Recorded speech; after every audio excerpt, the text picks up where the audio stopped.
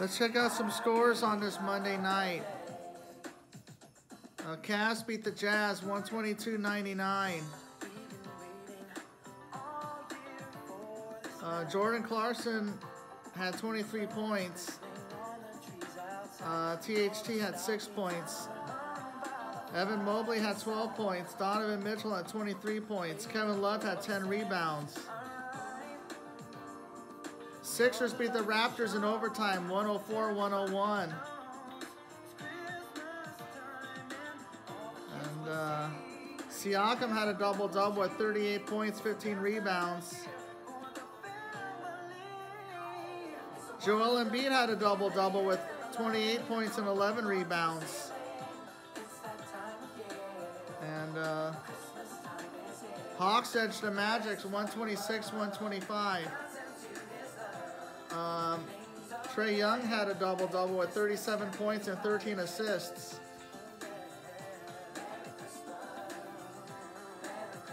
And uh, the Bucks beat the Pelicans 128-119. Giannis with a double-double with 42 points and 10 rebounds.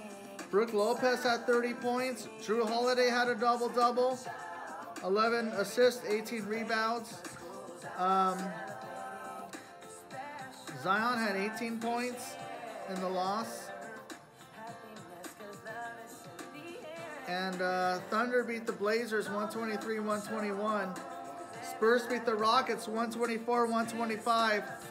Timberwolves beat the Mavericks 116-106. Luka had 19 points tonight. But Anthony Edwards had a double-double with 27 points, 13 rebounds. Austin Rivers had 16 points. And uh, the Hornets beat the Kings 125-119. And finally, the Phoenix Suns clobbered the Lakers 130 to 104.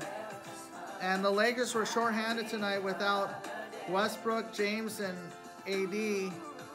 But Dennis Schroeder led the way with 30 points tonight.